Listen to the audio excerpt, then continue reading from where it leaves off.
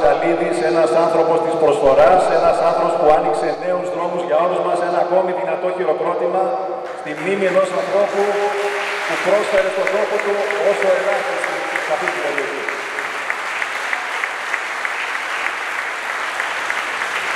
Το όνομα του εκλειπώντος Θεόδωρου Τσαχαλίδη πήρε το κλειστό γυμναστήριο του Αμυγδαλεώνα κατά την διάρκεια της τελετής αγιασμού για τη νέα αγωνιστική περίοδο. Gracias.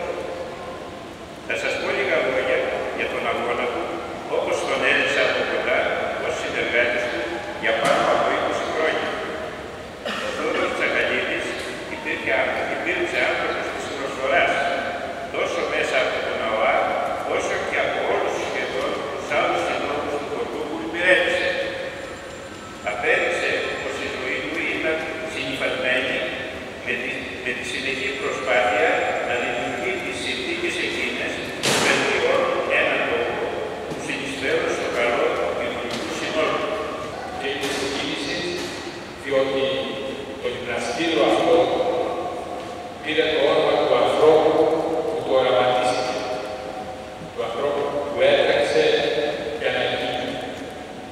Και μαζί του ένα